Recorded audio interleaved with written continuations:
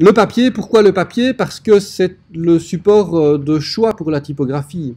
Faire un cours de typographie sans parler de papier, c'est un peu idiot. Alors je sais que la typographie est utilisée un peu partout ailleurs, y compris peut-être surtout sur le web, euh, puisque le web c'est 99,9% de typographie, hein, selon la citation bien connue. Euh, mais le papier est le premier support historique de la typographie, c'est le premier support de l'imprimerie. Donc ce n'est pas inutile d'en parler, notamment parce que euh, le papier, euh, il a des enjeux. Comme graphiste, vous allez devoir faire des choix de papier. Et la qualité de ce que vous imprimez va dépendre du choix de papier que vous faites. Et puis vous avez aussi une responsabilité par rapport au coût et par rapport à la durabilité, à la dimension écologique du papier. Le papier, c'est un support qui a des, euh, des dimensions écologiques euh, très forte. Donc il convient d'être au courant de ce que vous faites et de ne pas faire n'importe quoi. Parce que grosso modo, quand il y aura plus d'arbres, moi je ne serai plus là. Donc en fait, là, c'est votre avenir que vous préparez. Hein. la marche du monde et euh, arriver à survivre sur cette pauvre planète, je pense que c'est un petit peu à vous qu'on le devra, plus qu'à moi. Donc il faut faire un peu attention à ce qu'on fait. Euh, d'abord des dates clés pour le papier. Le papier, en fait, c'est assez particulier. C'est une fabrication artisanale qui s'est progressivement industrialisé. Le papier était au départ fabriqué à la main, et euh, en France, au XIVe siècle, on trouvait des moulins à papier. Les fabriques à papier, c'était des moulins à papier. Et pourquoi? Bah, Parce que pour faire de papier, il faut deux choses. Il faut, enfin essentiellement, pas que deux choses, mais il y a deux choses principales. il faut beaucoup d'eau et il faut beaucoup de force mécanique. Parce qu'on a des opérations de, qui réclament d'écraser des matériaux, etc. À la main, c'est infaisable, donc il faut de la force mécanique pour avoir des machines. Comment faire pour avoir ça? Bah, Dans un moulin à eau. Vous savez ce que c'est un moulin à eau? Une grande roue à aube qu'on met dans une rivière, alors ça tourne. Donc du coup, on a un mouvement mécanique qu'on peut utiliser pour faire tourner des machines. Et puis d'un autre côté, on a de l'eau, puisque la rivière quand même c'est de l'eau hein, finalement. Et donc on peut utiliser l'eau dans le processus de fabrication. C'est relativement pratique. Euh, et euh, ceci explique que on ait eu en France des moulins qui fabriquaient du papier, donc des moulins à papier, c'est comme ça qu'on les a appelés. L'appellation existe encore aujourd'hui euh, dans certains papiers, notamment le papier Canson, moulin d'Arche. Vous avez peut-être déjà vu ça, moulin d'Arche ou moulin du Roi, il y en a deux. Ce sont des, des, marques de papier, enfin des types de papier dont la recette a été inventée au XVe siècle dans le moulin d'Arche, qui est pas loin de Paris, euh, qui a perpétué, blablabla. Bla Donc quand on parle de moulin, c'est simplement pour ça, pour la force mécanique et pour l'eau. Alors le papier, en fait, il a été inventé beaucoup plus tôt que ça. On pourrait même presque remonter à 2500 avant Jésus-Christ euh, avec le papyrus. Je vous ai parlé hein, du papyrus plutôt dans le cours et je vous ai expliqué que c'était une espèce de roseau dont on va détacher les fibres et puis on va les coller, on va les assembler et ça va donner. Alors on, ne les on ne les casse pas, on ne les cuit pas, on ne les prépare pas. C'est pas tout à fait du papier, c'est juste des fibres de roseau qui sont agglomérées. Donc ça fait un support qui est pas génial pour l'écriture et pour l'impression, mais on a un support plat et végétal. Donc quelque part, c'est l'ancêtre du papier. Le papier, réellement, il va être, imprimé, il va être euh, euh, inventé euh, quelques millénaires plus tard. on date la légende veut que le papier soit inventé en Chine en 105 après Jésus-Christ. Euh, et que le poète chinois Kai Lun soit l'inventeur mythique du papier. Bon, on a des preuves archéologiques aujourd'hui euh, qui montreraient que le papier a été fabriqué en Chine avant ça. Mais bon, voilà, 105, c'est la date mythique de l'invention du papier, donc vous pouvez toujours la retenir. Euh, le papier en Chine est fabriqué non pas avec du roseau, mais avec du riz, avec des tiges de la plante de riz qu'on va écraser dont on va faire une pâte, et la pâte va être composée sous forme de feuilles. Donc c'est vraiment du papier, sauf qu'aujourd'hui, nous, notre papier, il est fait soit à base de coton, soit à base de bois, pas à base de riz, et que le papier de riz est un papier qui est très fragile et qui n'a pas une grande tenue euh, dimensionnelle, donc c'est pas du papier très génial. C'est très joli, mais c'est quand même pas génial. Alors, le papier est inventé en Chine, 105 après Jésus-Christ, va falloir attendre quelques siècles, et notamment la bataille de Samarcande qui euh, oppose les Arabes aux Chinois, et les Arabes vont capturer des Chinois qui vont livrer le secret du papier, donc le, secret du papier va passer de l'extrême-orient au Moyen-Orient, vers Damas, vers Bagdad, où on va perfectionner la, technique en utilisant, plutôt que d'utiliser du riz, parce qu'il n'y en a pas tellement en fait à Bagdad du riz, euh, donc on va plutôt utiliser du coton, du lin et du chanvre, qui sont des plantes qui poussent à cet endroit-là. Et on va perfectionner la technique, on va avoir du papier de meilleure qualité, petit à petit, euh, par l'entremise de marchands italiens, euh, vers le XIIe siècle, le papier va arriver en Europe occidentale. Et donc, on va commencer à fabriquer du papier en France notamment. Il va falloir attendre pour avoir les vraies premières fabriques un petit peu intensives de papier, les premiers moulins à papier, il faudra attendre le début du XIVe siècle Premier moulin à papier français euh, dans la ville de Ambert, je ne sais pas très bien où c'est, avec comme matière première du chiffon. Pourquoi est-ce qu'on utilise du chiffon plutôt que du coton? Parce qu'on connaît la plante de coton. Vous avez tous déjà vu du coton, vous savez ce que c'est, hein c'est une espèce de petite bouboule blanche comme ça. Donc on pourrait très bien prendre euh, les petites bouboules de coton et puis simplement en faire du papier. Alors en fait, c'est plus facile de prendre du chiffon parce que pour fabriquer du papier, en fait on doit défibrer c'est-à-dire qu'on va casser euh, euh, les, fibres du, végétal pour récupérer la cellulose qui forme la paroi des cellules végétales. Et quand on le fait avec du tissu, ben, le tissu de coton, c'est quoi? C'est du coton, on a pris les bouboules, on les a mises ensemble, puis on les a filées, et puis on les a tissées. Et en faisant ça, on a déjà commencé un peu à défibrer le coton. Donc quand on prend le tissu et qu'on l'écrase pour le défibrer, c'est plus facile, parce que le, travail est déjà en partie fait. Donc on récupère des vieux tissus, des, vieux, des vieilles chemises, des vieux pantalons, des, vieux tissus en coton, et comment on fait? Ben, On les met dans un pilon, et on les écrase avec de l'eau, et on les réduit en bouillie, et cette bouillie, ce sera la pâte à papier, ce sera la, matière première du papier. Ce processus-là, en fait, il date du début du XIVe siècle en France, mais il faut bien vous dire qu'au début du XIVe siècle, le papier, on n'en produit pas des masses. Il sert à quoi le papier? Bah, Il sert à écrire des manuscrits ou des lettres. C'est tout. L'imprimerie n'existe pas. Il faut attendre le XVe siècle, milieu du XVe siècle, que Gutenberg invente l'imprimerie. Et à partir du moment où l'imprimerie est inventée, bah, l'imprimerie imprime sur papier, c'est le meilleur support possible. donc à partir du moment où l'imprimerie existe, ben, là, évidemment, les besoins en papier vont augmenter de manière exponentielle. Et donc, il va y avoir de plus en plus de fabriques, de plus en plus de production de papier. Euh, et à un moment donné, on va, euh, arriver à une production industrielle. Euh, production industrielle qui va devoir attendre le milieu du 19e siècle. Avant ça, deux étapes que je vous indique. 1719, Réaumur, français, qui propose d'utiliser la cellulose du bois, parce qu'on utilise de plus en plus de papier, mais c'est pas pour ça qu'il y a de plus en plus de vêtements. Donc on va pas commencer à déshabiller les gens pour faire du papier, ça n'est pas très pratique, donc il faut bien qu'on trouve autre chose que du coton pour faire le papier, et donc on va utiliser la cellulose du bois. C'est beaucoup plus compliqué, pourquoi? Parce que je vous ai dit, le processus, c'est mettre la matière première dans un pilon, mettre de l'eau, et écraser jusqu'à ce que ce soit une bouillie. Alors, je ne sais pas si vous avez déjà essayé de déchirer un t-shirt en coton et puis juste après déchirer une planche. La planche, c'est plus difficile. C'est un peu dur le bois. Donc écraser le bois pour le réduire en bouillie, c'est quand même une autre paire de manches que de faire ça avec un t-shirt en coton. Donc le bois, c'est pas évident d'utiliser ça comme matériau. Mais on est en 1719, donc les techniques vont se développer aussi. Alors on va commencer par réutiliser les déchets de scierie la sciure, les copeaux de bois, etc. Ceux-là sont déjà en petits morceaux, donc ça devient plus facile à écraser. Euh, et puis on a évidemment des moyens mécaniques euh, qui vont se perfectionner, puisqu'on est quand même au XVIIIe siècle, on va arriver à la révolution industrielle petit à petit. Euh, et donc on va utiliser la cellulose du bois, on va inventer la première machine de production en continu en 1798, Louis-Nicolas Robert, un Français. la machine de, de Robert, en fait, euh, c'est le prototype des machines à fabriquer le papier moderne. Je vous en montrerai la semaine prochaine. J'ai des vidéos un peu impressionnantes avec des machines qui sont très très grandes. Euh, mais donc euh, ici, Louis-Nicolas Robert, il va changer le processus. Pourquoi?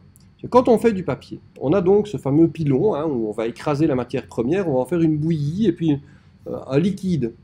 Dans ce liquide, la cellulose du bois ou du coton sera en suspension et c'est ça qui fera le papier. Donc ce qu'on fait, ce liquide, on le prend avec un tamis on le récolte, on l'étale, Et puis, comme c'est un tamis, l'eau s'écoule et va rester une fine couche de cellulose. Cette couche de cellulose, on la retourne sur un feutre pour la sécher, et puis ensuite on l'écrase pour chasser l'eau et pour condenser les fibres, et puis après on, la laisse sécher. Éventuellement on peut la calandrer, c'est-à-dire l'écraser entre des rouleaux pour qu'elle soit vraiment bien affinée, mais après c'est tout. Et à chaque étape, le tamis ça se fait à la main, poser sur le feutre ça se fait à la main, écraser ça se fait à la main, prendre feuille par feuille et mettre à sécher ça se fait à la main. Donc c'est un processus très manuel et pas très linéaire. La machine de Nicolas Robert, en fait, c'est le prototype des machines à papier modernes, c'est-à-dire que vous allez avoir un tapis roulant qui est euh, un tapis roulant euh, micro-perforé, donc un tamis en fait. Et en tête de machine, vous allez avoir un bac avec la pâte à papier, donc ce liquide un peu blanc avec les fibres de cellulose. Et on va faire couler de manière très régulière sur le tapis roulant qui avance la pâte à papier. Et donc qu'est-ce qui va se passer? Ben, l'eau de nouveau va s'écouler, le tapis avance doucement, et la couche de cellulose se dépose de manière uniforme. Donc vous avez un ruban de papier qui avance.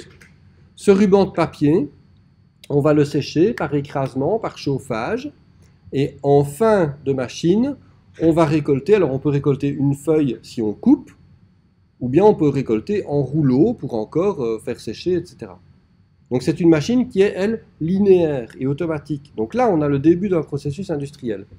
Bien sûr, Nicolas Robert, il fait ça avec une machine qui fait genre un mètre de large, euh, qui est longue à peu près euh, comme, le, bureau ici, et qui va pas très vite. Donc c'est pas très très impressionnant comme production, mais n'empêche que par rapport à la production manuelle, là c'est quand même autre chose. C'est quand même nettement amélioré. Mais bon, c'est le tout début.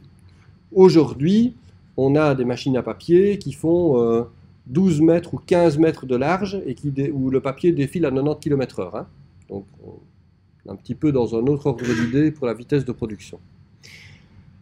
Premier début de l'industrialisation, donc 1798.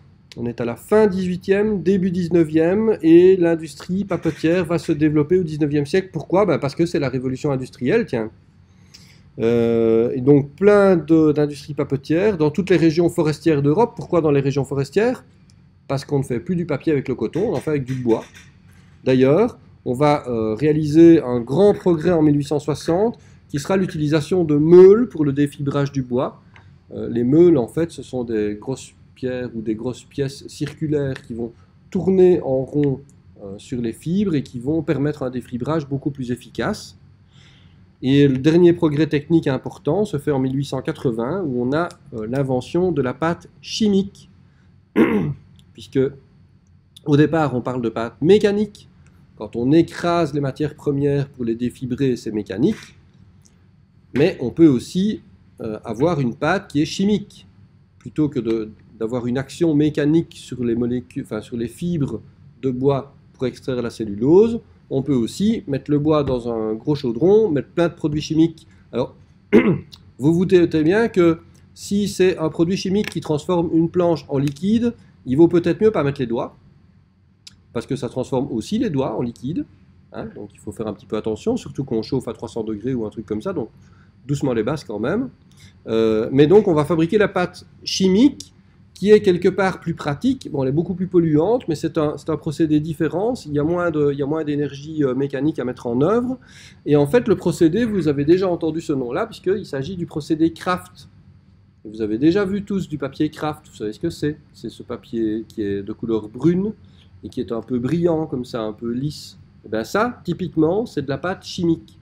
La pâte chimique, elle a un gros problème par rapport à la pâte mécanique, c'est la couleur c'est très difficile d'obtenir du papier vraiment blanc avec de la pâte euh, chimique. Généralement, la pâte reste un peu brune, un peu grise, donc pas génial. Première fabrication de pâte chimique Kraft en 1880. Ça, c'est les grandes étapes. Après, bien sûr, on va perfectionner, mais en gros, ce sont les grandes étapes de la fabrication, euh, de l'histoire de la fabrication de la pâte à papier.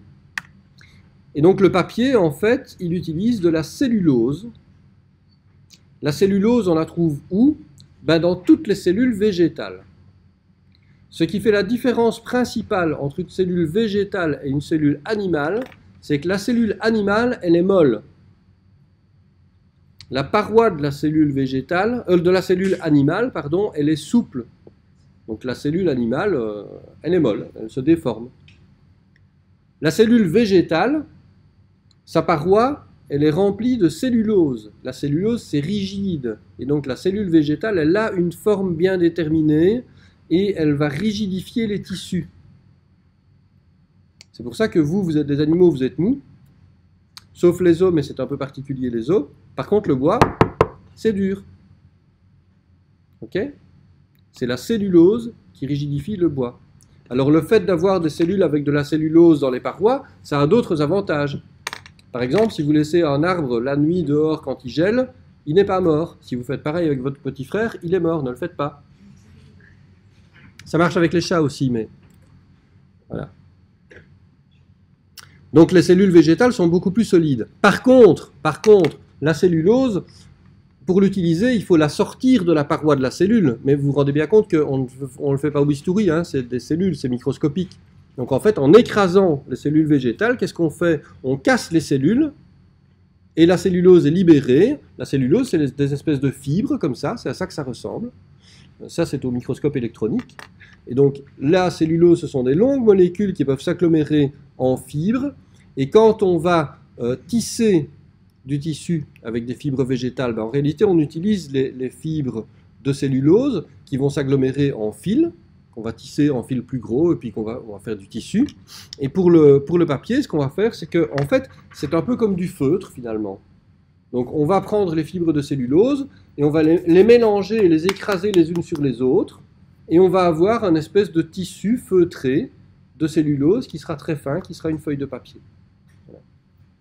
Alors, bien entendu, comme euh, le coton est un végétal, ben, c'est pour ça qu'au départ, on travaillait avec des vêtements en coton, parce que les vêtements en coton, je vous l'ai dit, la fibre est déjà travaillée, elle est en partie défibrée, donc on peut la réutiliser telle qu'elle.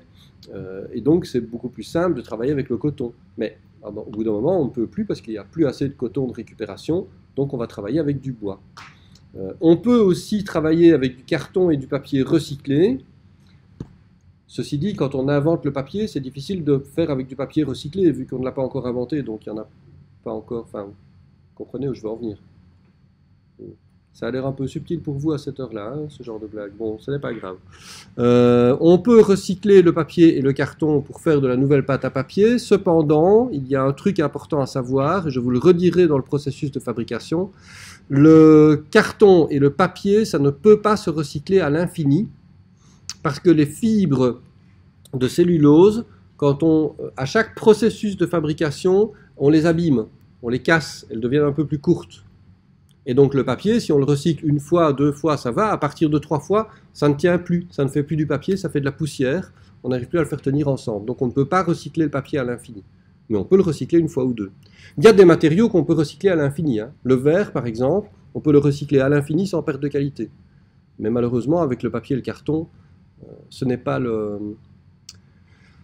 euh, ce n'est pas le, ce n'est pas, ce n'est pas possible. Euh, encore deux petites choses à propos du bois. Euh, Aujourd'hui, le bois qui est utilisé pour faire le papier, c'est essentiellement du bois qui provient de déchets de scierie ou euh, de coupes euh, d'entretien qui sont, qui sont pratiquées dans les forêts. Donc on ne détruit pas des forêts exprès pour faire du papier, ça ce n'est pas vrai. Et alors surtout, euh, cette légende qui dit que si vous utilisez trop de papier, euh, vous détruisez la forêt amazonienne, c'est complètement crétin, parce que jamais on a fait du papier avec le bois d'Amazonie. Il est bien trop cher pour ça. On fait d'autres trucs. La destruction de la forêt amazonienne, c'est une réalité, c'est très préoccupant, euh, c'est une catastrophe écologique majeure, mais c'est pas pour faire du papier. C'est pour d'autres trucs. Le bois qui sert à faire du papier, c'est du bois qui provient des forêts européennes ou du nord de l'Amérique, essentiellement euh, de Scandinavie, euh, un petit peu du résineux et surtout des feuillus, mais arctiques. Voilà. Mais pas la forêt d'Amazonie. La cellulose, c'est cette fibre qu'on trouve dans les parois des cellules végétales et qu'on va agglomérer pour en, faire une espèce de feutre. Le papier, finalement, c'est comme du feutre. Ce sont, des, ce sont des fibres de cellulose qui sont agglomérées entre elles et puis écrasées, séchées et qui forment un espèce de tissu feutré. Voilà. D'où l'idée qu'on en trouve dans le bois. Le bois n'est pas facile à traiter pour faire du papier. dans les cartons et les papiers recyclés, mais bon, euh, je vous ai expliqué aussi qu'il y avait un problème avec le recyclage du papier, c'est que les fibres s'abîment parce qu'elles se cassent et qu'elles deviennent de plus en plus courtes, et que donc après deux ou trois cycles de, de deux ou trois cycles de fabrication, bah, les fibres ne sont plus bonnes à faire du papier, ça ne marche plus, donc on ne peut pas recycler à l'infini. Euh, et puis on trouve aussi des fibres de cellulose dans le coton, les tissus recyclés, les premières euh, les premiers procédés de fabrication de papier utilisaient du coton et pas des arbres. Euh, le procédé de fabrication, voilà un procédé schématique que, que, vous pouvez garder à titre de, de moyen mnémotechnique. Donc on commence par l'écorçage et le lavage du bois. Donc procédé de fabrication à base de bois. Hein. L'essentiel du papier aujourd'hui est fabriqué avec du bois, donc je vous donne le procédé complet avec le bois. Le procédé avec le coton est un peu plus simple. Il n'y a pas d'écorçage, notamment. Donc écorçage et lavage des troncs. Euh, ensuite, pour la filière mécanique, je vous ai dit qu'il y avait une filière mécanique, une filière chimique. Donc la filière mécanique, c'est celle qui passe par le dessus. Là.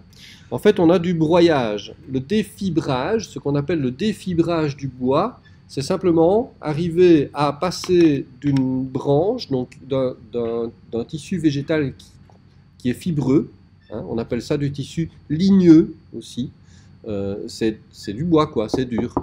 Passer de ça à une pâte, ben, ça s'appelle le défibrage. Donc les cellules végétales qui contiennent la cellulose, on va broyer le bois suffisamment fin pour qu'on arrive presque au niveau cellulaire avec euh, les, cellules végétales. Le broyage est un procédé intéressant parce qu'il va conserver les propriétés chimiques de la cellulose, à savoir la réceptivité à l'encre, c'est quand même important pour le papier qu'il soit réceptif à l'encre, mais aussi la tendance à vieillir en jaunissant.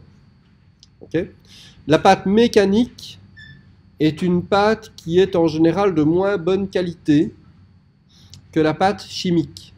Alors je vous ai dit la pâte chimique la fois dernière, je vous ai parlé du papier Kraft. effectivement, le papier Kraft, c'est la première pâte chimique qui a été fabriquée. Donc historiquement, la première pâte à papier, c'est de la pâte mécanique de chiffon. À partir du 19e siècle, on va fabriquer de la pâte de bois. On va d'abord la faire de manière mécanique, mais ça donne une moins bonne qualité que la pâte de chiffon le meilleur papier aujourd'hui, il est toujours fait à partir de coton, à partir de chiffon. Euh, donc la filière mécanique avec du bois donne une qualité qui n'est pas exceptionnelle. Ça suffit pour faire du carton d'emballage. Donc on ne va pas passer son temps à faire une autre, euh, un autre procédé pour le carton d'emballage.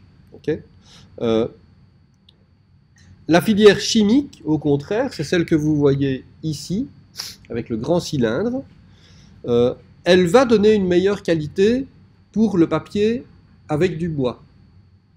Mais il est clair que la meilleure qualité de papier possible, c'est quand même du papier chiffon. Avec du chiffon, le procédé mécanique donne une meilleure qualité qu'avec le procédé chimique. Je ne sais pas si c'est bien clair. Si c'est du bois chimique, c'est mieux que mécanique. Si c'est du chiffon mécanique, c'est mieux que chimique. Mais comme le chiffon c'est plus cher, comme le coton est plus cher, ben, avec le coton on ne fait jamais que de la pâte mécanique. On ne va pas passer son temps à prendre du bon chiffon et puis à le jeter dans un machin qui va de toute façon l'abîmer. Ça sert à rien. Donc en gros aujourd'hui vous avez trois types de pâtes Vous avez la pâte à papier chiffon, mécanique, super qualité. La pâte à, la pâte à papier bois, chimique, qualité correcte. Et la pâte à papier bois mécanique, pas terrible. Ça va? Alors, euh, et le papier craft est un papier d'emballage, mais qui est un papier chimique, donc c'est un peu le prince des papiers d'emballage, si vous voulez. Euh, pourquoi est-ce que je vous parle de la filière chimique? Parce qu'on va commencer par défibrer légèrement le bois. Vous voyez qu'il y a une broyeuse à gauche du, grand euh, cylindre. Le cylindre, en fait, c'est un silo dans lequel il va se passer plein de choses intéressantes. Ça fait 70 mètres de haut. Euh, la pâte est sous pression et à 170 degrés et on balance des produits chimiques super chouettes dedans, du style de l'acide, du bisulfite, du sulfure de sodium, de la soude caustique, plein de machins super. Faut pas mettre les doigts parce que ça fait du papier avec les doigts aussi. Donc. et donc c'est un procédé qui est relativement polluant, évidemment, à cause des produits chimiques et à cause de l'énergie qu'il faut pour chauffer le cylindre. Ça dure à peu près 6 heures. Ensuite, on va sortir la pâte, on va la mettre dans une laveuse, c'est la petite machine qui est là-bas, pour éliminer les résidus de, produits chimiques. Euh, et puis, on va l'utiliser euh, dans un bac mélangeur. Alors, le bac mélangeur, c'est là que ça devient intéressant. Donc, euh, on est où? Ouais, c'est au-dessus du 4, là. le bac mélangeur, c'est là qu'on va retrouver tous les mélanges possibles de pâtes. Parce que la plupart des pâtes à papier que vous avez aujourd'hui n'appartiennent pas aux trois grands types de papier, ce sont des mélanges. Donc la plupart du temps, le papier que vous utilisez ben, dans vos blocs ou euh, pour l'impression de, des syllabies, etc., c'est une pâte qui est physico-chimique ou mécanico-chimique. C'est un mélange de pâte mécanique et de pâte chimique. Parce que les deux pâtes ont des propriétés différentes. La pâte euh, mécanique, elle va être plus blanche, mais elle va plus vieillir. La pâte chimique, elle va être un peu jaune au départ, mais elle va moins vieillir. Euh, la pâte chimique est plus fine, la pâte mécanique est plus grossière. Donc généralement, on va mélanger les deux. Pourquoi? Parce que le mécanique est moins cher. Le chimique est plus cher, meilleure qualité mais plus cher. Donc en mélangeant les deux, grosso modo, on a un mix qui devient euh, le meilleur rapport qualité-prix possible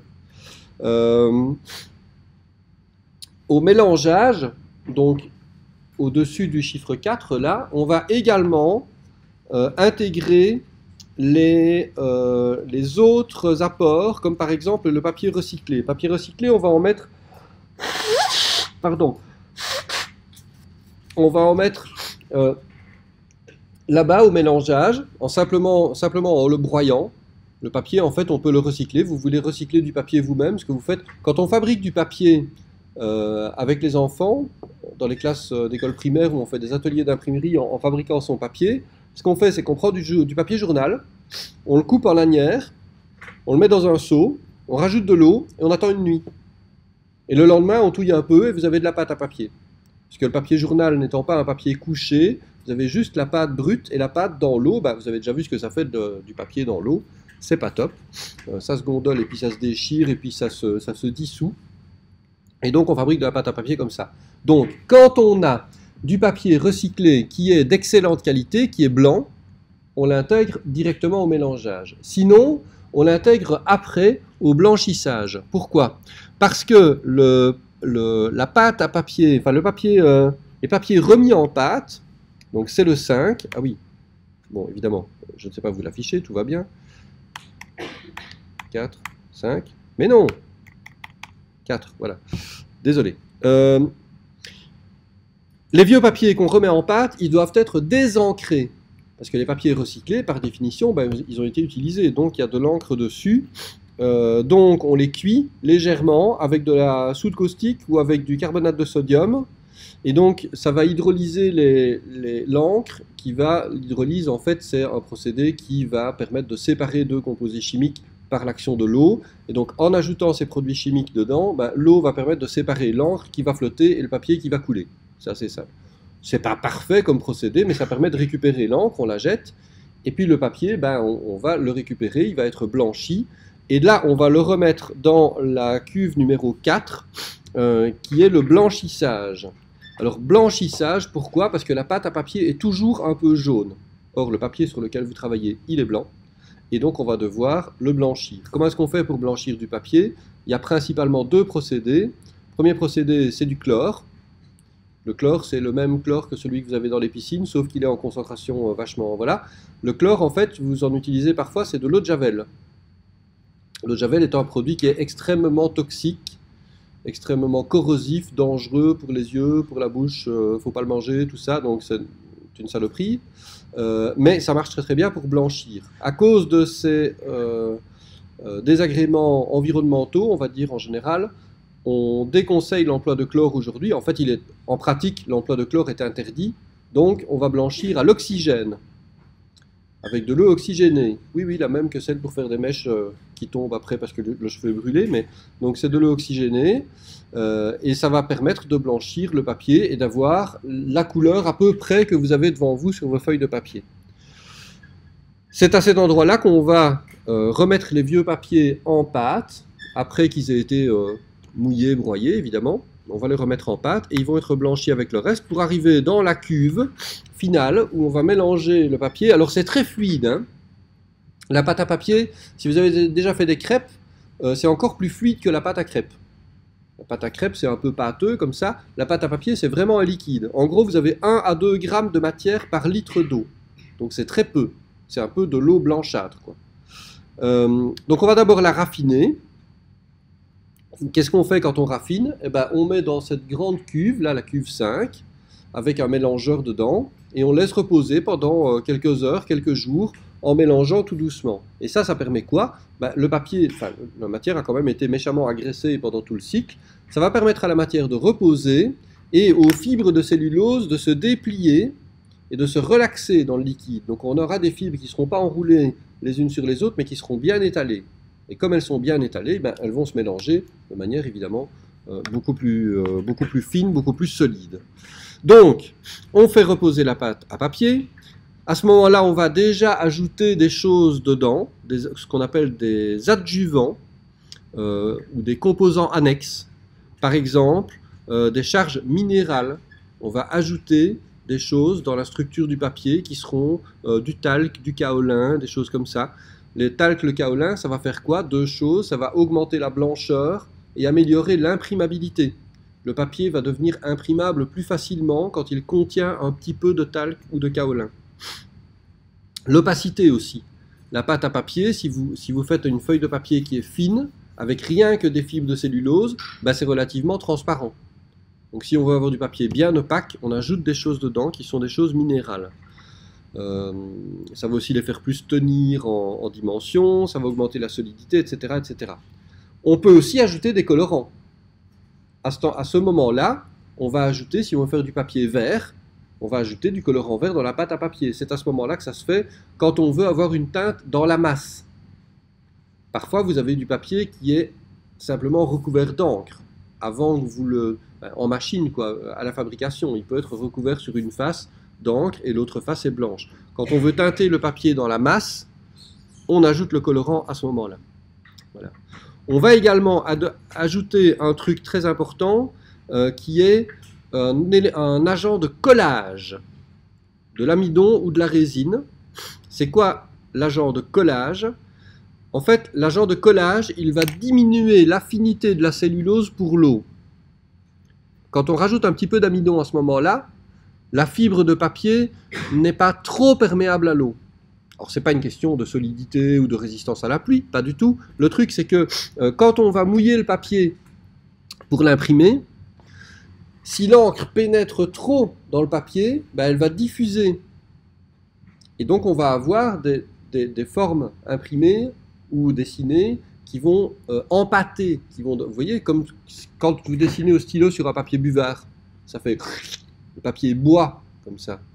Eh ben, pour éviter cet effet-là, on met un petit peu d'amidon, ce qui fait que le papier reste perméable, on peut toujours mettre des choses liquides dessus, ça va pénétrer, mais pas trop, ça va rester contenu. Ça c'est super important, l'agent de collage, c'est le composant essentiel du papier moderne.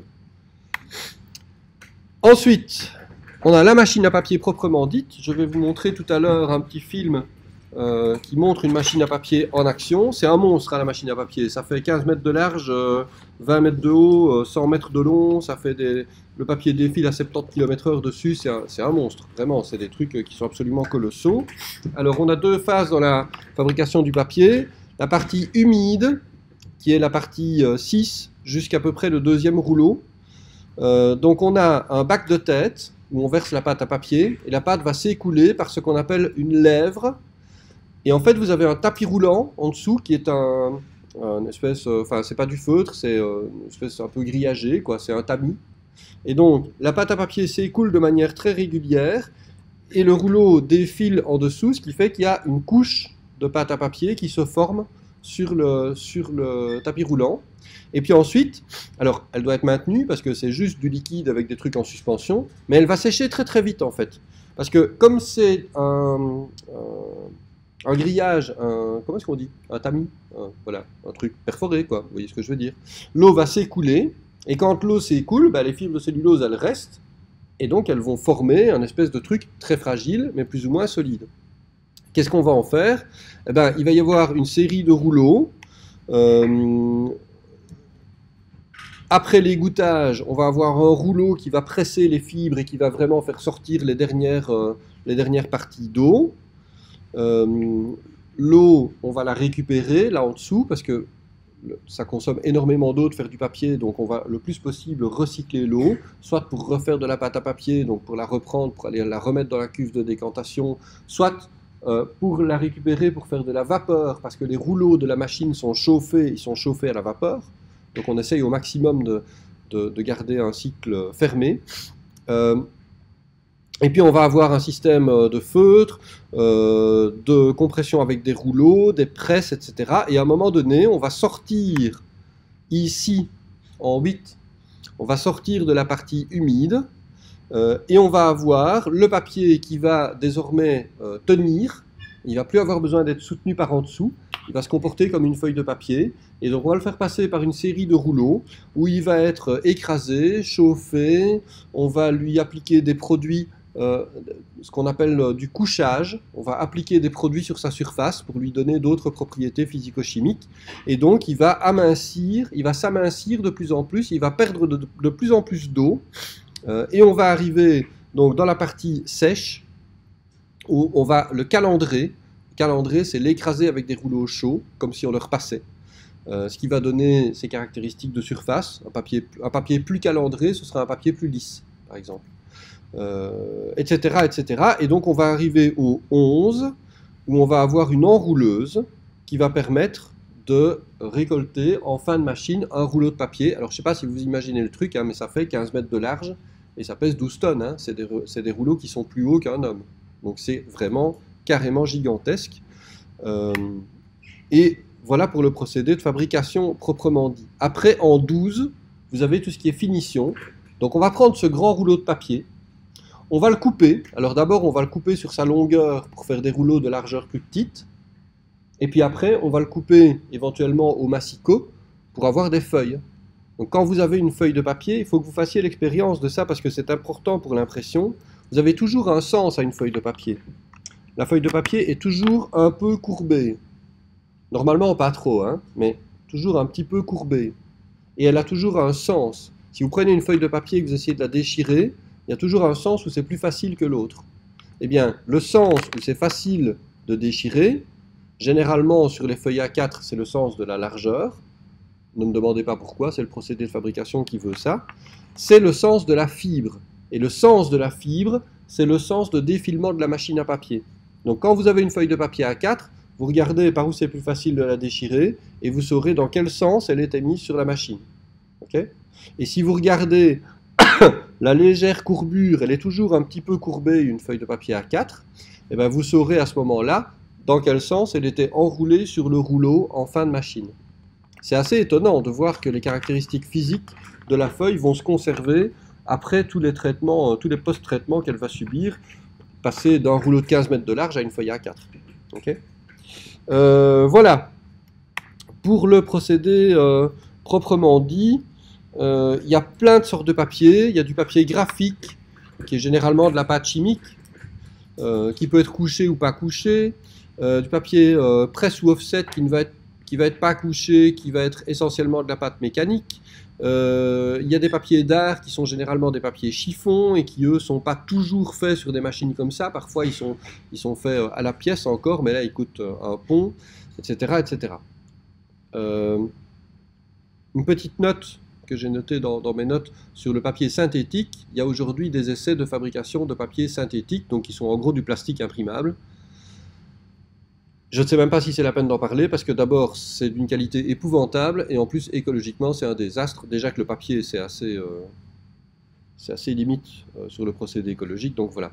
Je vous passe un petit film, euh, qui est un film promotionnel de chez Sapi.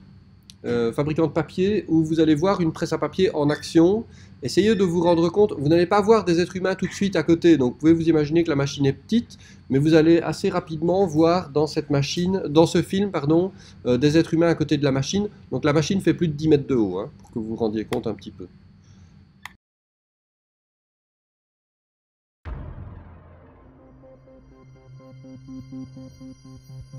La machine à papier est le point névralgique de la papeterie. Une série de procédés de fabrication continue s'y succèdent pour transformer la solution de pâte en un papier de qualité parfaite, propre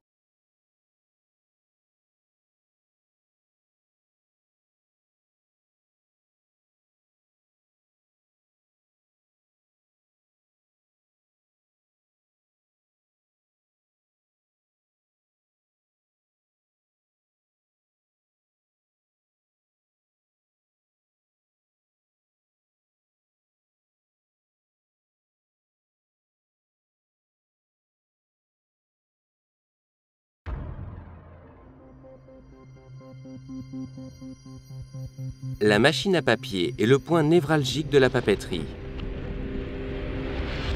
Une série de procédés de fabrication continue s'y succèdent pour transformer la solution de pâte en un papier de qualité parfaite, propre à chaque application du marché. La caisse de tête est située au début de la machine à papier.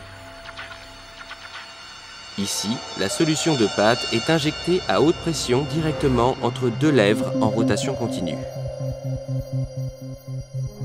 Celle-ci transporte la pâte dans le gap former, une machine à double toile qui égoutte rapidement l'excès d'eau des deux côtés.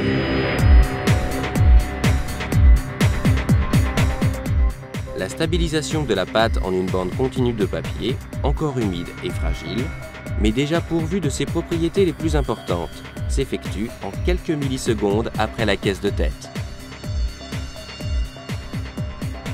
La délicate bande de papier est maintenant entraînée dans la section des presses par plusieurs feutres à rotation continue qui évacuent l'excédent d'eau et empêchent la bande de se déchirer.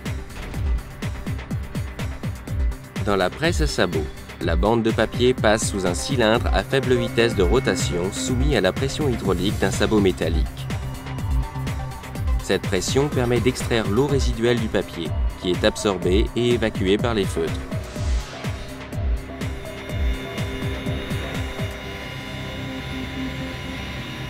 La plus longue section de la machine à papier contient les cylindres sécheurs. Sous l'effet de ces énormes rouleaux chauffés, le papier sèche et devient assez solide pour se passer de tout support. Le papier est maintenant prêt à subir les différents procédés qui lui conféreront les qualités de surface requises. La feuille de papier passe dans les différentes sections de la machine à papier à une vitesse maximale de 1400 mètres par minute. Chaque étape de la fabrication fait l'objet d'une surveillance permanente afin de garantir la régularité de la production. Le papier est ensuite guidé vers une calandre, constituée de deux cylindres en acier poli qui garantissent une épaisseur uniforme du papier. L'intervalle entre les cylindres est déterminé de manière très précise. Le papier passe ensuite dans une série de presses encolleuses et coucheuses. À ce stade, l'amidon et la sauce de couchage sont déposés à la surface du papier selon le procédé film presse. La sauce de couchage est pulvérisée sur un rouleau en caoutchouc qui transfère la couche sur la bande de papier. Le couchage film presse permet de déposer uniformément à la surface du papier une épaisse couche qui suit les contours du papier. Après chaque couchage, la surface du papier est séchée par des panneaux chauffants, par rayonnement infrarouge et des cylindres sécheurs. Encoller la surface du papier permet aux encres d'impression de sécher à la surface du papier plutôt que d'être absorbées, d'intensifier les couleurs de l'imprimé final et d'augmenter la résistance et l'imperméabilité du papier à sa surface.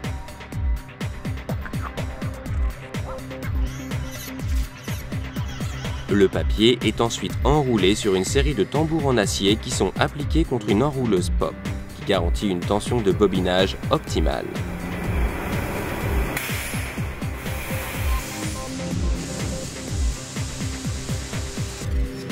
La ligne de fabrication produit chaque heure une bobine mère de papier de plus de 80 km de long, de 8,5 mètres de large et pesant 120 tonnes.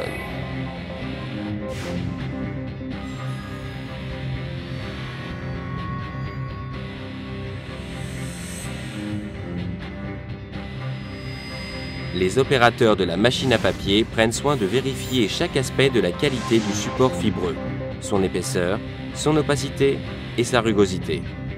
Après vérification de la conformité de ces caractéristiques par rapport au cahier des charges, un robot transporte la bobine mère vers d'autres sections où elle subira des traitements de surface et une finition.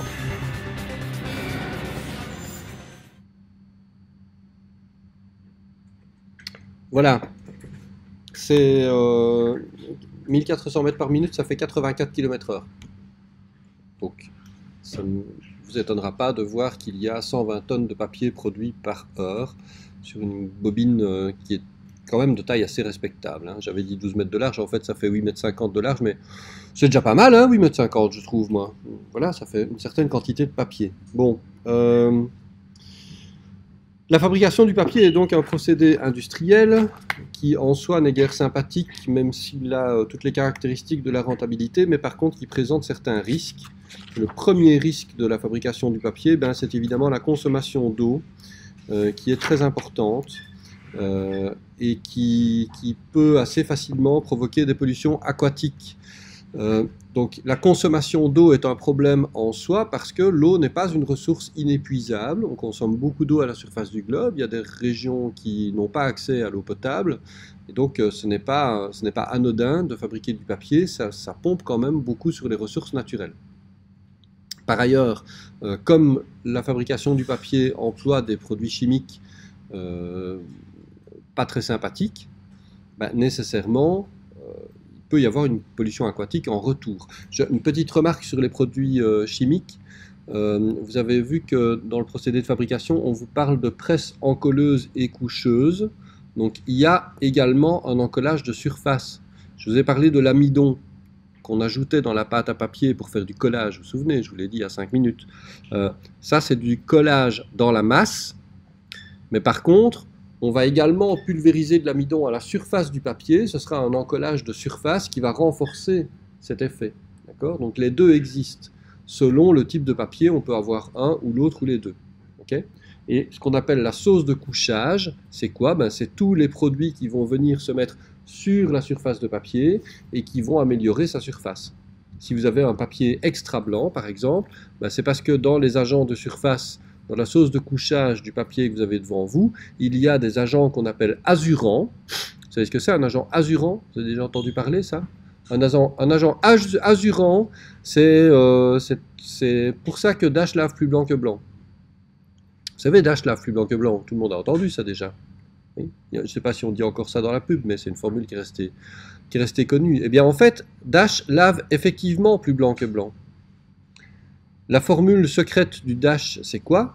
C'est donc précisément ce fameux agent azurant qui va faire en sorte que lorsque la lumière frappe une surface, elle va repartir avec plus d'intensité que ce qu'elle est arrivée. C'est bizarre, parce qu'en principe, une surface, elle absorbe la luminosité qui lui parvient et elle en rejette une partie. si elle rejette toutes les fréquences visibles de manière uniforme, bah, du coup, elle va, euh, euh, être blanche si elle absorbe plus certaines radiations que d'autres, elle va avoir une couleur. C'est ça le principe de la couleur sur les surfaces. hein. euh, eh bien, avec un agent azurant, une partie du rayonnement ultraviolet qui va parvenir sur la surface va voir son énergie diminuer et donc sa fréquence diminuer. Et donc, en gros, il y, a de la, nouvelle lumière visible qui va être projetée de la surface parce qu'elle était au départ de la lumière ultraviolette, puisqu'on ne la voit pas. La lumière ultraviolette, c'est quelque chose qu'on ne peut pas voir à l'œil nu, pourtant elle est là. Et donc la lumière ultraviolette va frapper la surface, elle va devenir de la lumière visible. Et donc dans la lumière qui arrive sur la feuille, vous avez X quantité de lumière visible et X ultraviolet. La lumière visible va diminuer un petit peu parce qu'elle sera absorbée par la feuille, mais en revanche, il va y avoir des ultraviolets qui seront convertis en lumière visible, donc il y en aura plus. Donc le papier va briller. Quand vous avez ça à l'extrême, ben, vous avez des tissus réfléchissants. Sur les gilets de sécurité qu'on a dans les voitures et à vélo, etc., vous avez des tissus réfléchissants, bah, c'est ça en fait que ça fait. Tissu réfléchissant va convertir une partie des ultraviolets en lumière visible. Et donc on va avoir une intensification de la lumière. Un agent azurant, c'est ça. Et c'est grâce à ça qu'on peut avoir un papier qu'on appelle extra blanc, c'est-à-dire plus blanc que blanc. Donc c'est effectivement un papier d'ash. Voilà. Excusez-moi, je renifle, mais c'est la période du rhume. Hein. Donc, euh, Attention à la pollution euh, aquatique. Attention aussi au rejet de produits toxiques de manière générale, pas seulement dans l'eau. Le papier recyclé en particulier doit être traité avec des produits chimiques très agressifs qui sont vraiment très polluants. Donc euh, malheureusement, le recyclage du papier n'est pas une panacée au niveau de, l'écologie, puisque les produits chimiques doivent faire l'objet d'un recyclage très, euh, très attentif et très suivi, sans quoi ça pollue énormément. Par ailleurs, comme le papier consomme des produits chimiques, ben, ces produits chimiques doivent bien être fabriqués quelque part. On ne va pas les fabriquer dans l'usine. Donc, fabriquer du papier, ça veut dire que on doit avoir une industrie chimique qui va fabriquer les produits chimiques dont on se sert. Cette industrie-là est polluante aussi, c'est une pollution au deuxième degré. Par ailleurs, euh, fabriquer du papier, ça consomme énormément d'énergie. Alors je dis des pistes de valorisation secondaire existent, pourquoi? Bah, Parce que la moitié à peu près de l'énergie de fabrication du papier, elle sert à fabriquer de la chaleur sous forme de vapeur qu'on injecte dans les rouleaux pour permettre un calendrage à chaud et un séchage du papier. Bah, cette chaleur, elle sert à sécher, mais évidemment on en perd beaucoup parce que séchage par rayonnement, bah, vous savez bien comment ça marche. On a une plaque qui chauffe, une partie de la chaleur va aller sur l'objet qu'on sèche, mais une partie va aussi aller dans, dans l'atmosphère. Alors on peut essayer en partie de récupérer cette chaleur, soit pour servir au chauffage domestique, soit pour fabriquer d'autres choses, de l'électricité, etc. C'est possible. Mais en tout cas, l'énergie, l'industrie papetière consomme énormément d'énergie. Alors elle consomme également du bois, malgré le recyclage. Ben, je vous ai expliqué que le recyclage avait ses limites et donc, euh, il existe aussi des filières de protection des forêts, etc., euh, qui font en sorte que euh, ben, on, s'efforce de n'utiliser que du papier qui respecte certains critères écologiques. Je vous en parlerai en fin de séquence lorsqu'on parlera des normes en matière de papier. Alors, un peu de vocabulaire. Les deux mots de vocabulaire principaux que vous devez retenir quand on parle de papier, c'est le collage et le couchage. Le collage, soit dans la masse, soit de surface, c'est donc l'ajout d'additifs, en principe l'amidon, qui est l'additif le plus connu, euh, qui va rendre le papier moins perméable à l'eau, qui permettra donc de sécher plus vite et d'imprimer avec une meilleure qualité. Le couchage, le couchage c'est pas dans la masse, c'est une couche qui est déposée sur le papier. Euh, c'est une opération qui consiste à ajouter différents produits chimiques qui vont aussi améliorer l'imprimabilité du papier, mais aussi modifier sa surface. Quand vous avez un papier qui est glacé, vous savez, on parle souvent de papier glacé, c'est le papier tout brillant et tout lisse, eh bien ce papier-là, c'est un papier qui comporte une couche avec un produit chimique qui va lui donner cet aspect lisse. Donc ça, c'est du couchage. Papier glacé, c'est du papier couché. La plupart des papiers que vous avez devant vous, le papier du syllabus, le papier de, vos blocs, ce n'est pas du papier couché, c'est du papier qu'on appelle offset. C'est-à-dire qu'il a, a probablement quand même un tout petit peu, une toute petite couche euh, dessus pour lui donner un peu plus de blancheur. Mais grosso modo, il n'y a presque pas d'agents de couchage qui ont été déposés dessus. Et donc, vous avez au toucher ben, l'aspect un peu rugueux du papier euh, classique. Alors il y a d'autres mots de vocabulaire que je ne vais pas forcément voir en entier parce que je vous en parle dans le syllabus, mais je veux que vous connaissiez ces mots de vocabulaire parce qu'ils vont vous servir le jour où vous devrez choisir du papier. Il y a des caractéristiques optiques et des caractéristiques mécaniques au papier. Caractéristiques optiques, c'est blancheur, brillance, opacité, épaire, euh, permanence, imprimabilité. Et les caractéristiques physique, c'est l'objet papier en lui-même, son grammage, son épaisseur, etc., etc. Je vais les passer en revue relativement rapidement, mais euh, vous avez des explications dans le syllabus, donc n'hésite pas à y aller voir. Donc premier truc, c'est la blancheur, le degré de blancheur par rapport au blanc absolu. C'est quoi le blanc absolu?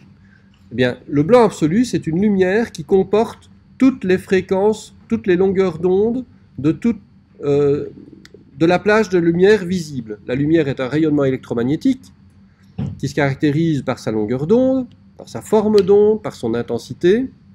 Et donc, la blancheur du papier va être la capacité du papier à renvoyer de manière uniforme toutes les longueurs d'onde possibles. Comment est-ce qu'on fait pour tester? Ben, On envoie une lumière qui est calibrée, qui est parfaitement blanche sur le papier, et puis on mesure avec un spectromètre la quantité de lumière qui a été réfléchie pour chaque longueur d'onde. On obtient euh, un diagramme de réflexion spectrale, c'est comme ça que ça s'appelle, et plus le, plus le spectre sera uniforme, plus la totalité des longueurs d'onde seront renvoyées euh, à la même intensité, plus le papier sera blanc. Et donc on obtient une blancheur qui sera exprimée en CIE. Blancheur CIE. CIE, c'est euh, la Compagnie internationale de l'éclairage.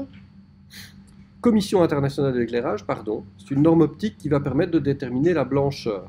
Blancheur ISO existe également, c'est une norme internationale euh, qui, euh, qui va être utilisée aussi. Alors, en général, on travaille en CIE. Si vous avez des ramettes de papier, souvent vous avez la blancheur qui est indiquée dessus, et il est indiqué blancheur CIE.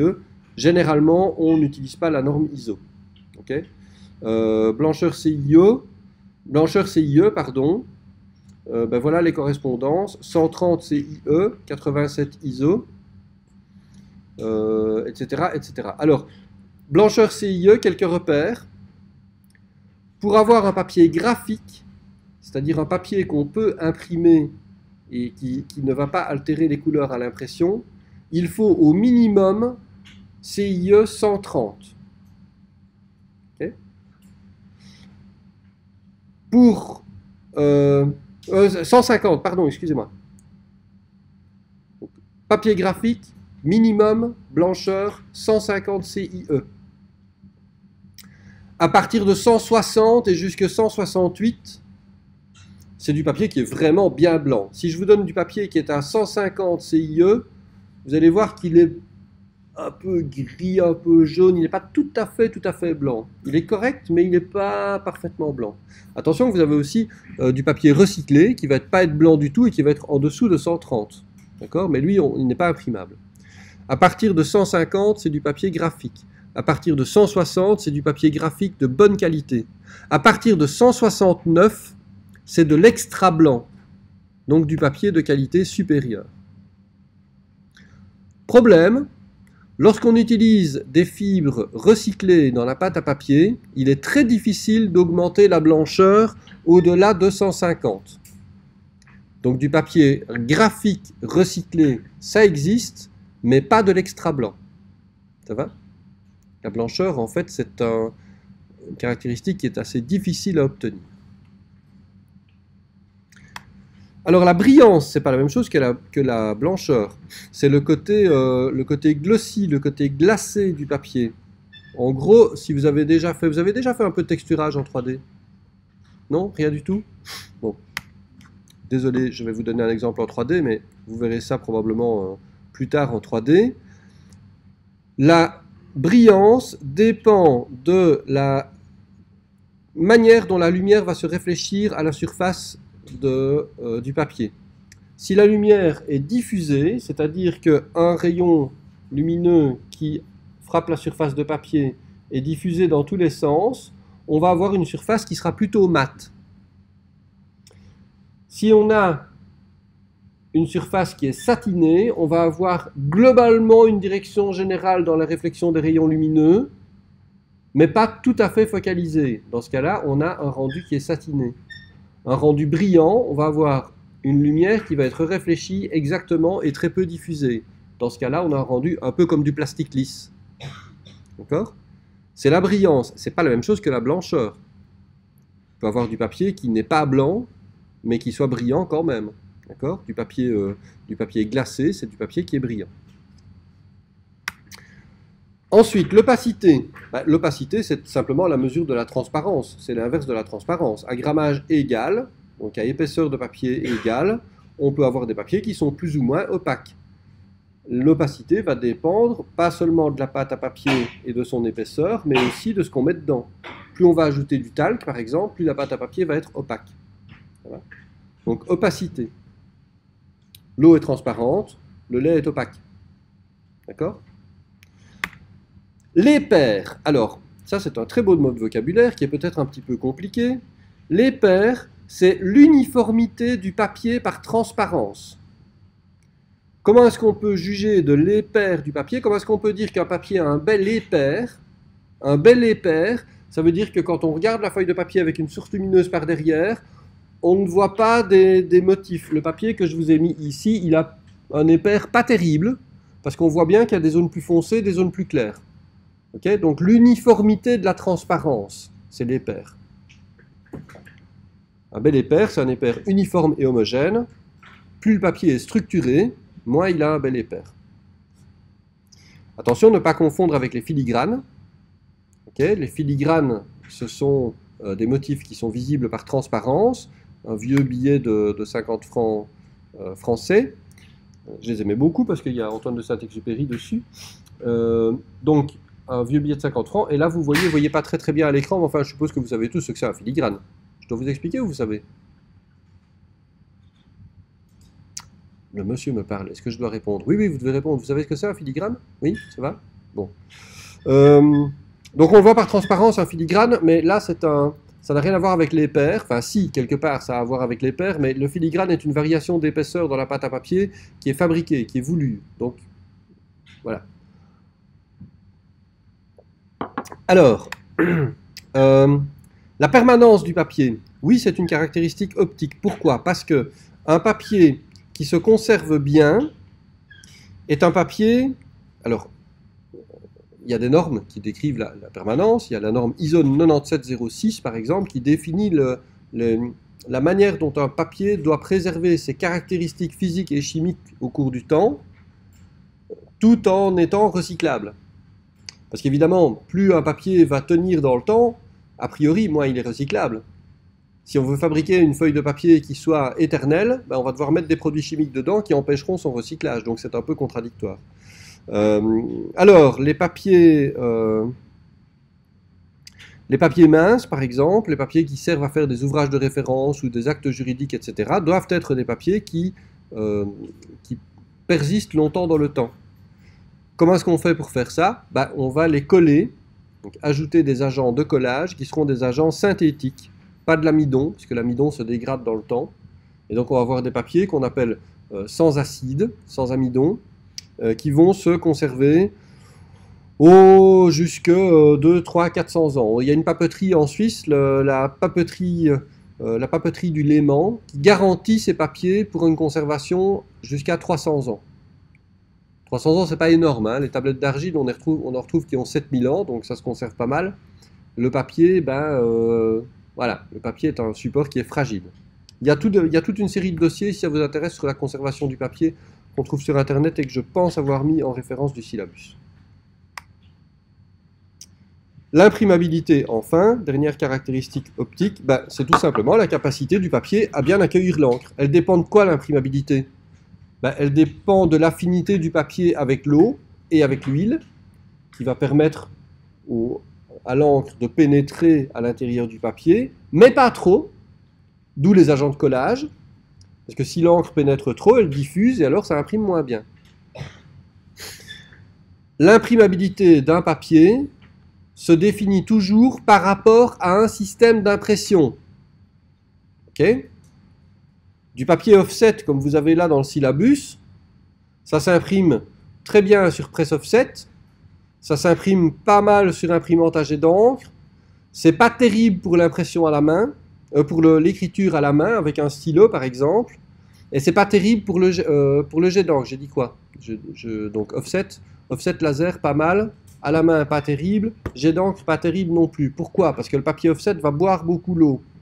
Comme les encres des euh, machines, des imprimantes à jet d'encre sont des encres à base d'eau, le papier va trop boire l'eau et ça va empâter. C'est pour ça que quand vous avez du papier photo pour que vous en jet d'encre, eh ben c'est du papier qui est tout brillant, tout lisse. Pourquoi? Parce que c'est du papier couché. Et sur la couche de papier, eh bien vous avez pas mal de kaolin. Le kaolin est perméable à l'eau, mais pas trop, l'encre ne diffuse pas. Donc il y a une perméabilité verticale, pas trop horizontale. Donc c'est du papier qui est particulier, qui va servir à l'impression de très bonne qualité en jet d'encre. Par contre, prenez du papier photo pour une imprimante à jet d'encre, mettez-le dans une imprimante offset, c'est de la merde. Ça n'imprime pas. Parce que chaque papier a une imprimabilité définie par rapport à chaque procédé d'impression. Et ça, vous ne pouvez pas le savoir. Donc quand vous imprimez par exemple en offset, le jour où vous travaillez pour l'imprimerie, les trois quarts du temps, vous allez travailler pour l'offset, eh bien l'offset, en réalité, c'est un, c'est un procédé euh, qui travaille avec un certain type de couchage. Le meilleur papier pour l'offset, c'est du papier couché, mais pas n'importe lequel.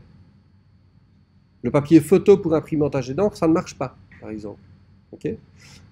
le papier couché pour l'offset, si vous le mettez dans un copieur couleur, par exemple, pour faire de l'impression numérique, ben, ça marche pas très bien. Vous allez avoir, par exemple, si vous avez des aplats de couleurs, vous allez avoir la couleur qui casse. Le teneur ne tient pas bien sur le papier couché pour l'offset. Il vaut mieux du papier non couché, ou alors du papier spécial. Donc c'est très particulier, vous devez faire attention à ça. L'imprimabilité, ce n'est pas simple. Ensuite, les caractéristiques physiques. Grammage, est-ce que je dois vraiment vous expliquer? C'est le poids théorique en grammes par mètre carré. Attention, le grammage, c'est le poids du papier, mais ça n'a pas forcément un rapport avec l'épaisseur. Vous pouvez avoir du papier très épais, mais léger, et du papier très fin, mais très lourd. L'épaisseur va dépendre du type de pâte, des couches, des agents de charge, de, la manière dont le papier a été écrasé en machine, donc euh, calandré. Ça dépend de plein de choses. L'épaisseur et le grammage, oui, c'est vrai qu'a priori, on a tendance à se dire plus un papier est épais, plus il est lourd, mais ce n'est pas toujours le cas. Soyez attentifs là-dessus.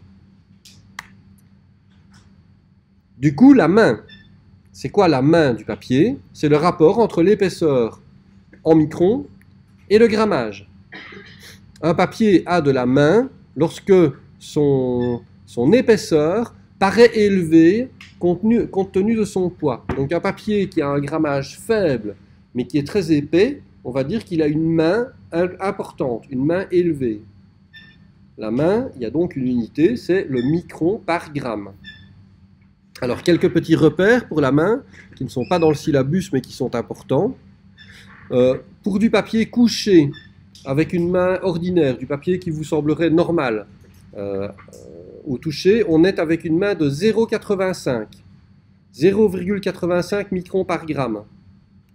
Un papier couché qui a une main forte, donc une épaisseur importante, on va être dans un rapport de 1,15 microns par gramme. Vous voyez qu'on reste toujours à peu près aux alentours de l'unité. Le papier offset, il va avoir une main qui sera plus importante que euh, par défaut que le papier couché, parce que le papier couché est plus calandré. Donc pour le même poids, il va être plus écrasé, donc plus fin. Le papier offset va généralement avoir une main plus importante. Un papier offset, on a des mains qui sont rarement inférieures à 1,05 et qui peuvent aller jusqu'à 1,25. Ça va? Mais on a aussi des papiers qu'on appelle des papiers bouffants, les cartons, très épais, mais qui vont être très légers, où là, on peut avoir une main qui va de 1,15 jusqu'à 1,7. Et là, ça donne un truc qui est vraiment très épais.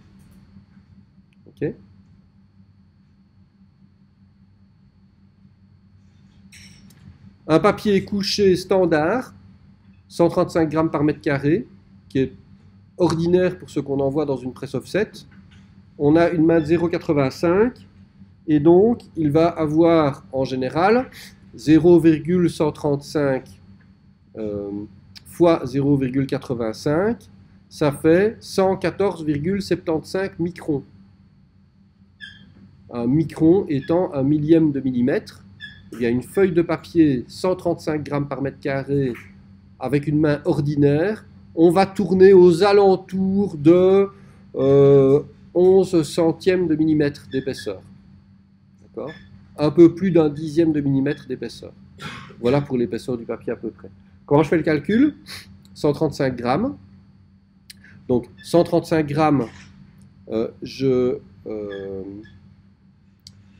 ça fait 0,135 kg. Qu'est-ce que je fais? Mais non, c'est 135 grammes.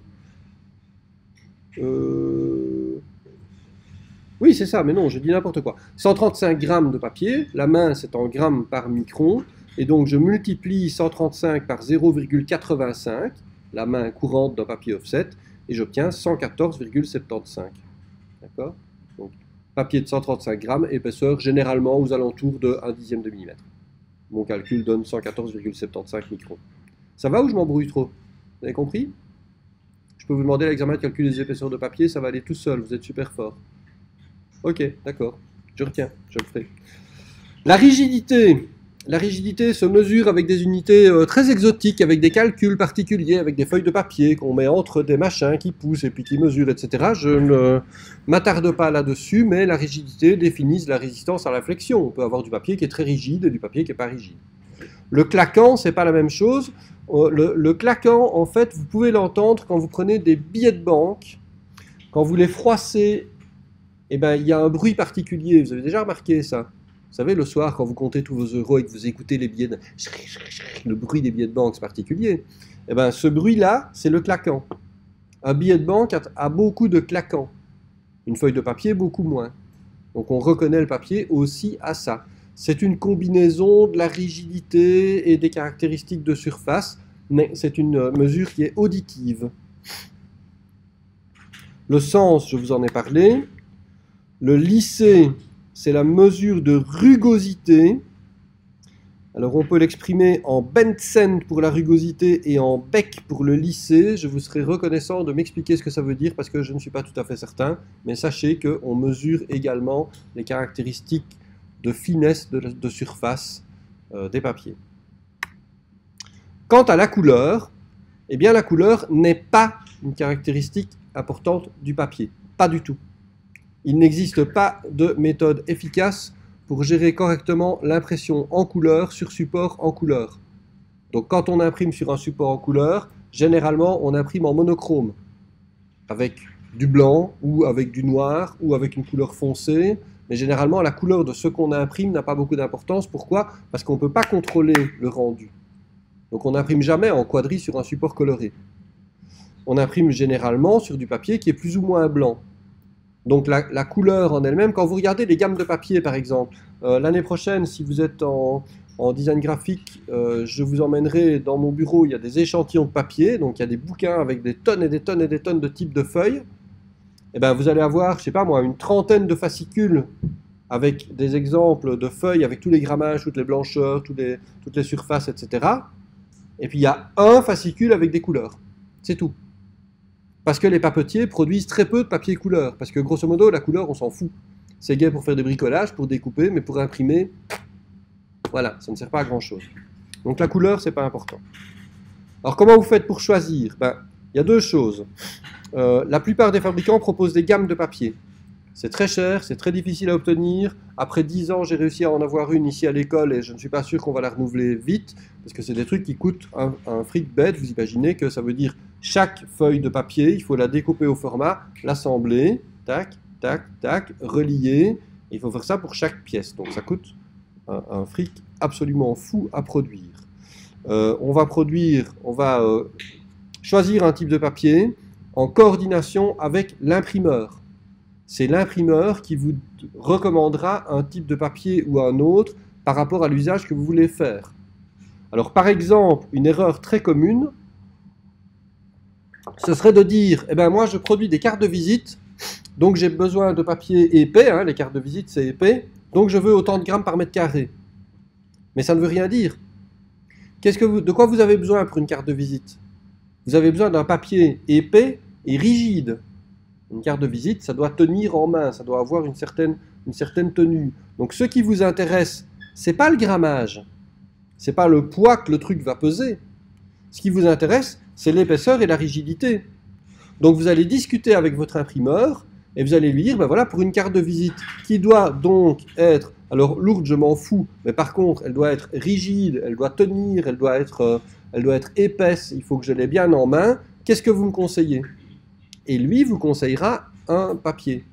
Et le plus souvent, il vous conseillera un papier de fort grammage, parce que généralement, effectivement, l'épaisseur va avec le grammage. Mais il pourrait très bien vous conseiller un autre papier.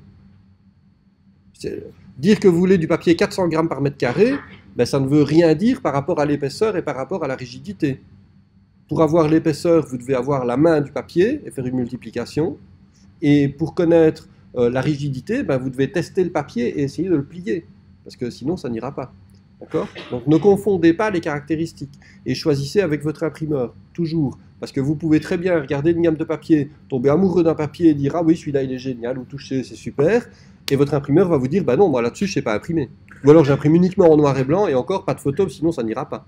Donc voilà, vous devez toujours choisir avec l'imprimeur.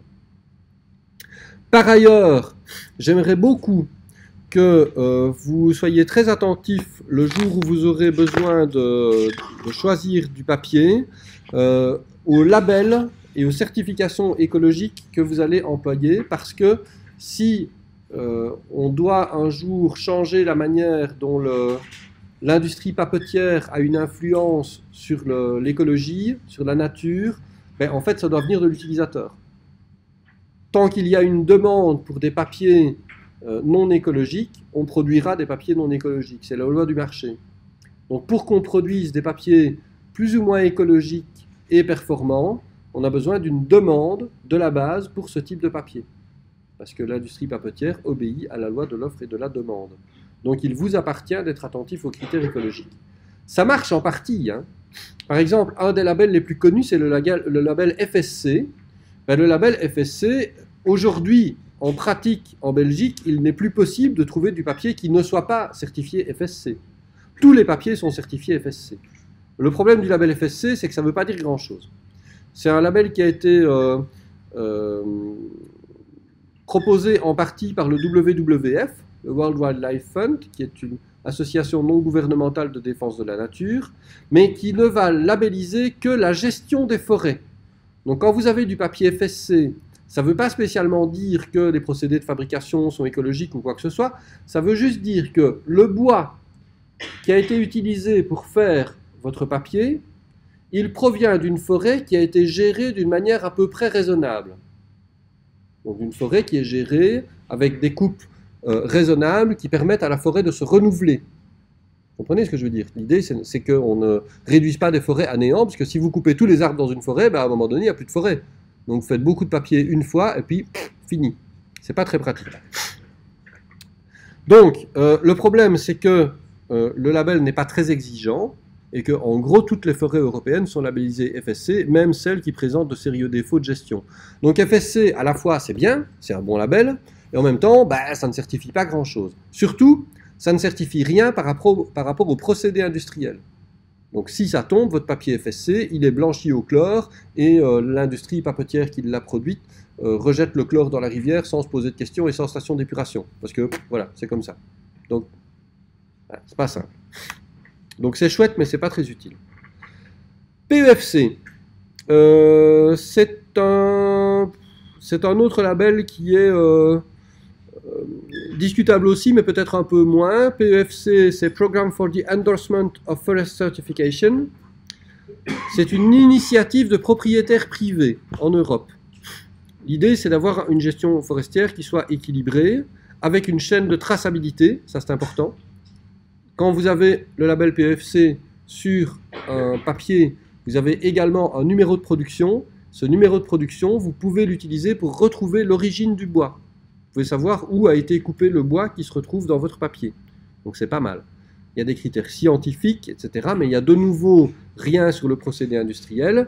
Et par ailleurs, le problème de PEFC, c'est qu'on certifie les entreprises, pas les produits.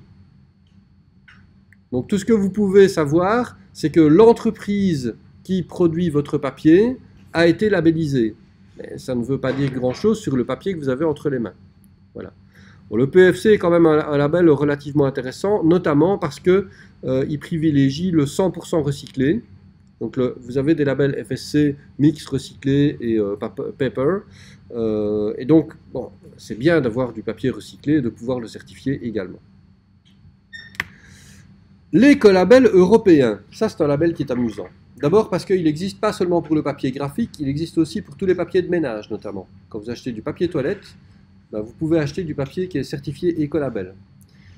Alors il est intéressant parce que euh, c'est un label qui est européen, donc qui est euh, publié par l'Europe, qui est vérifié par un organisme indépendant et qui va certifier, lui, le procédé industriel. Donc il impose des limites de pollution, euh, pollution de l'eau, pollution de l'air, consommation énergétique. il va un petit peu s'intéresser à l'origine du bois, mais pas beaucoup, juste un petit peu. Et du coup, en fait, le label n'est pas extrêmement contraignant. En fait, techniquement, quasiment toutes les industries papetières pourraient être certifiées écolabel. Si elles ne le sont pas, c'est principalement parce qu'il faut payer pour avoir un label, parce qu'on doit avoir la visite des experts, préparer la visite, machin, etc. Donc ça coûte de l'argent et donc ils ne le font pas. Euh, l'année prochaine, au cours de communication, je vous parlerai de greenwashing. Greenwashing, c'est quoi ben, En gros, c'est essayer de faire croire qu'on est écolo sans faire grand-chose. Bah, grosso modo, quand vous voyez écolabel européen sur un papier, ben, c'est pas forcément du greenwashing, mais ça ne vous certifie pas grand-chose. Donc, écolabel européen, méfiez-vous.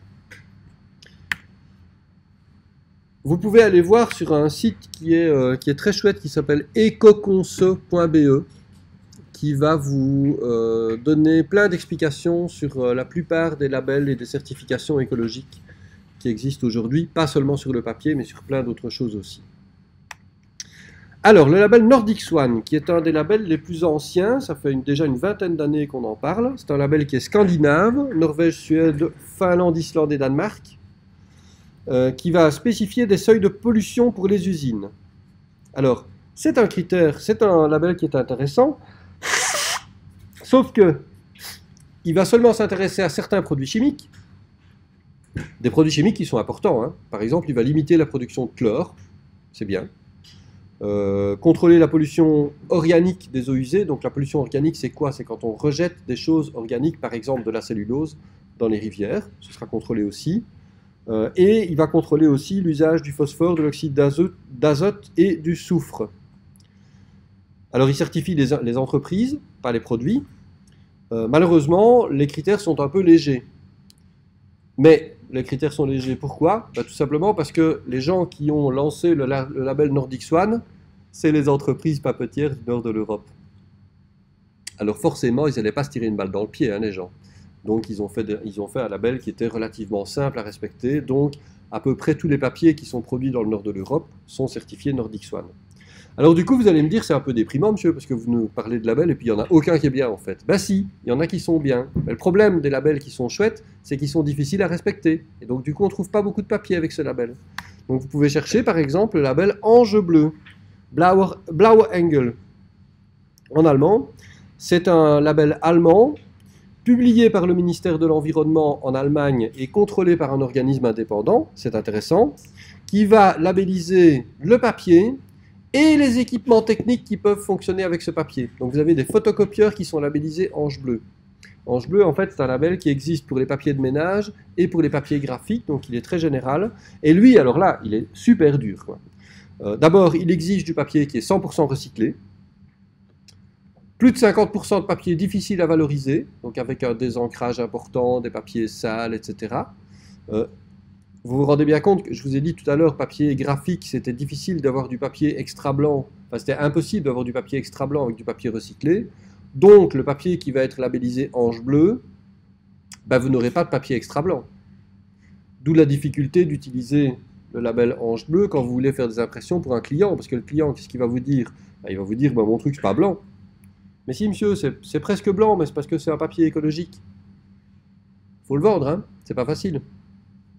Donc voilà. Alors, 100% euh, de papier recyclé. Il défend l'usage euh, du formol, du cadmium, du plomb, du chrome, du chlore, des halogénés, des azurants, donc problème de blancheur, d'autres substances nocives, etc., etc. Il définit aussi des critères de longévité pour le papier. Donc c'est un des seuls labels qui va s'intéresser à la pérennité du papier. Si vous avez du, du papier ange bleu, vous pouvez être certain qu'il ne va pas trop se dégrader dans le temps. Donc voilà. Maintenant, c'est un papier qui est difficile à, utiliser, c'est sûr. Alors, Euh, petit rappel sur les labels. Donc, Ange bleu, excellent, hein, Ange bleu. Très sévère sur les conditions de production. Sur l'origine du bois, bah forcément, c'est du papier recyclé, donc origine du bois, il bah, n'y a pas, puisqu'il oblige que ce soit recyclé. Et des conditions techniques euh, très sévères euh, sur la durabilité du papier. Donc c'est le meilleur. C'est pas le plus facile à utiliser, mais c'est le meilleur. Le Nordic Swan, il est relativement sévère sur la production, mais par contre, rien sur l'origine du bois, rien sur la production. Euh, rien sur les critères techniques. L'écolabel européen, il n'est pas très sévère sur la pollution et les normes de production. Et l'origine du bois, bon, euh, ouais, il privilégie le recyclage, mais enfin, bon, voilà. C'est mieux que rien. Hein. Quand vous avez un papier qui est labellisé, c'est mieux que rien. Mais enfin, il faut bien se dire que les labels manquent un petit peu de sévérité. FSC et PEFC, vous avez donc aucun critère de production, aucun critère technique, juste des critères sur l'origine du bois qui sont relativement peu sévères, un peu plus sévères pour le PEFC, mais enfin bon, ça se limite à de la traçabilité, voilà. Donc on est mal avec les labels. Il y a aussi euh, deux normes, ISO 14001 et EMAS, euh, qui sont des normes européennes et, et de normes internationales. Alors, ISO 14001, c'est une norme de management environnemental. C'est super important. Quand vous avez euh, le logo ISO 14001 sur un papier, en fait, le papier n'est pas certifié. Ce que la norme ISO certifie, c'est les process de gestion de l'environnement.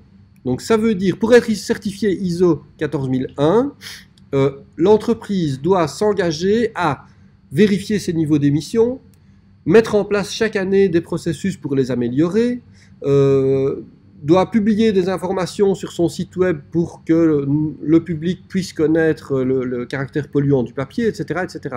Donc c'est le process qui est certifié. Okay c'est pas le produit, c'est pas l'entreprise, c'est le processus de fabrication, avec essentiellement euh, des obligations de communication.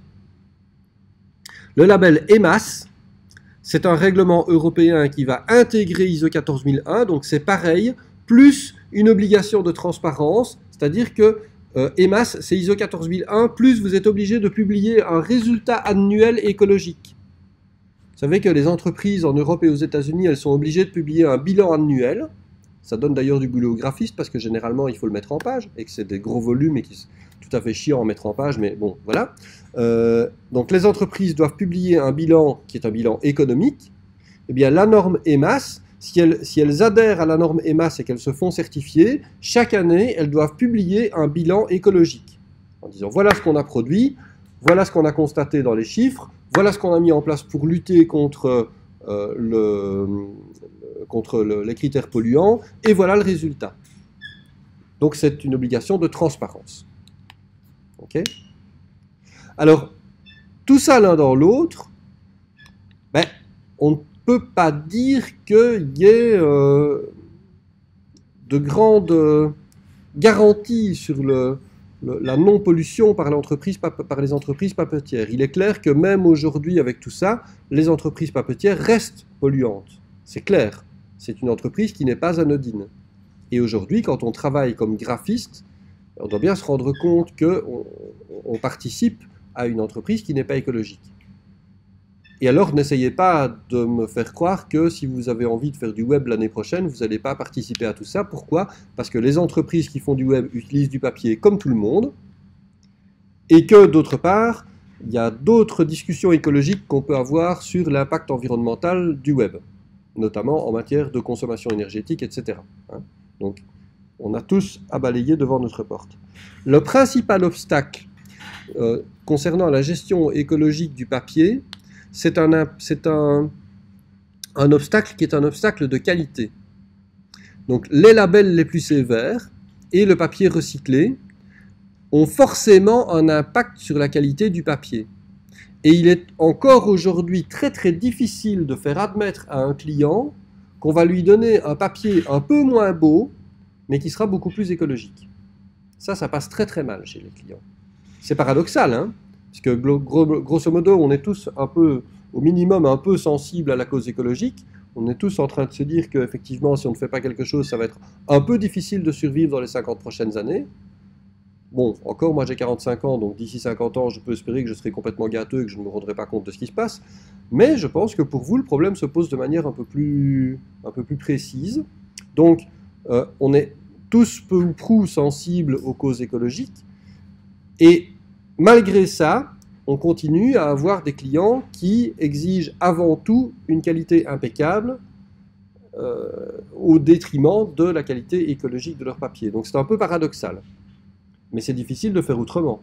Comme graphiste, ben, vous pouvez suggérer des choix, vous avez un rôle pour éduquer votre client, hein, pour lui faire comprendre qu'il y a des enjeux qui sont peut-être plus importants que juste avoir un joli papier, mais d'une manière générale, ben, vous êtes quand même tenu de satisfaire votre client, sans quoi il ne vous paye pas. Donc c'est très compliqué tout ça. Alors on en parlera euh, de manière plus détaillée l'année prochaine en communication. Je vous parlerai de greenwashing et de, gestion écologique en général. Pour l'instant, retenez simplement qu'il euh, y a des normes, qu'elles sont dans l'ensemble peu satisfaisantes et que la seule norme qui est véritablement très sévère, donc la norme ange bleu, elle n'est pas très facile à faire euh, accepter simplement parce qu'elle a des critères de qualité qui sont peut-être un peu en dessous de ce que les clients attendent.